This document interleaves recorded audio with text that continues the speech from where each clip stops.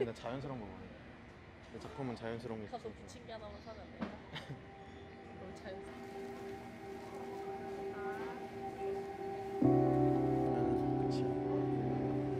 오랜만에 여길 왔어.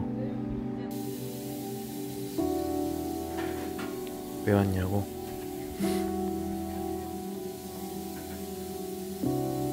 예전에도 그랬듯이 또 틈이 생겨버렸어.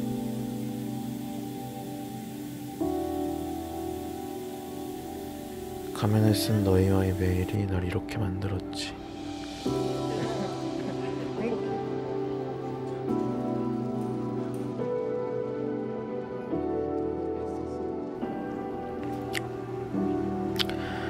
이곳만은 날 따스하게 맞이하더라.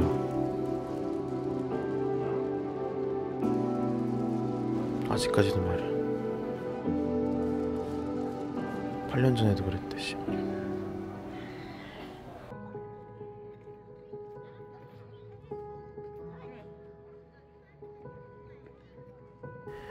난 그저 이런 것들이 좋을 뿐이야.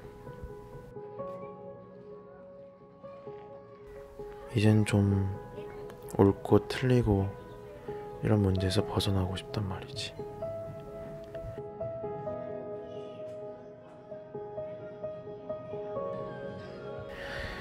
맞지 않는 가면을 쓴 너희들의 튀어나온 얼굴 조각들을 보면서 난 그러고 싶지 않다고 생각했어.